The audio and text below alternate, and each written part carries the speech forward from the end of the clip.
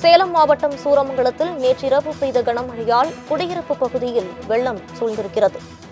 வீடுகளுக்குள் மழைநீருடன் கழிவுநீர் கலந்து முழங்கால் அளவுக்கு தேங்கியதால் மக்கள் கடும் அவதியடைந்து வருகின்றனர். சாலைகளிலும் மழைநீர் குளம் போல் தேங்கியுள்ளதால் மக்களின் இயல்பு வாழ்க்கை பாதிக்கப்பட்டுள்ளது.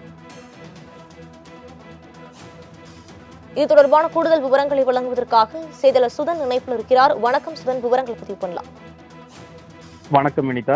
சேலம் மாநகர் மற்றும் சுற்றுவட்டார பகுதிகளில் கடந்த சில நாட்களாகவே மாலை மற்றும் இரவு வேளைகளில் பரவலாக மழை பெய்து வருகிறது. இந்த நிலையில் நேற்று இரவு சுமார் ஒரு மணி நேரத்திற்கு மேலாக பலத்த காற்றுடன் கூடிய கனமழையானது கொட்டி தீர்த்தது.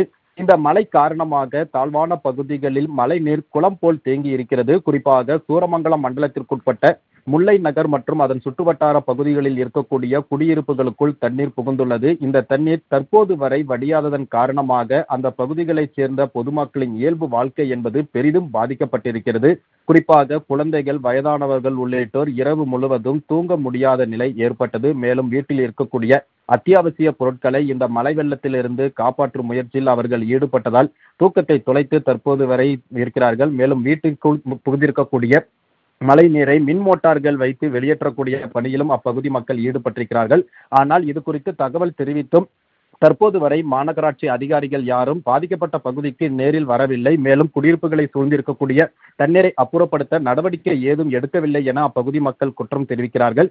இதேபோல் சேலத்திலிருந்து ஜங்ஷன் ரயில் நிலையத்துக்கு செல்லக்கூடிய பிரதான சாலை மற்றும் திருச்சி பிரதான சாலையிலும் முழங்கால் அளவிற்கு மேல் தண்ணீர் தேங்கியுள்ளதால் இருசக்கர வாகன ஓட்டிகள் மற்றும் பாதசாரிகள் சாலையை பயன்படுத்த முடியாத நிலை ஏற்பட்டது. மேலும் அத்தியாவசிய தேவைக்காக செல்லக்கூடிய பொதுமக்களும் கூட சாலையில் தேங்கிய மழைநீரில் தத்தளித்தபடி செல்கின்ற ஒரு நிலையே ஏற்பட்டிருக்கிறது. மேலும் சேலம் மாநகர பகுதிகளில் கடந்த சில நாட்களாக தொடர்ந்து பெய்து வரக்கூடிய கனமழை காரணமாக சிவதாபுரம் பகுதியில் இருக்கக்கூடிய ஏரி நிரம்பி தற்போது அதன் உபரி நீரானது அருகே இருக்கக்கூடிய குடியிருப்பு பகுதிகளை சூழ்ந்திருக்கிறது. இதன் காரணமாக சிவதாபுரம் பனங்காடு சித்தர்கோயில் மெயின் ரோடு உள்ளிட்ட பகுதிகளில் மழை வெள்ளம் சூழ்ந்திருக்கிறது. மேலும் அப்பகுதியில் ஐம்பதுக்கும் மேற்பட்ட குடியிருப்புகளுக்குள் மழை வெள்ளம் புகுந்ததன் காரணமாக அந்த பகுதி மக்களின் இயல்பு வாழ்க்கையும் பாதிக்கப்பட்டிருக்கிறது.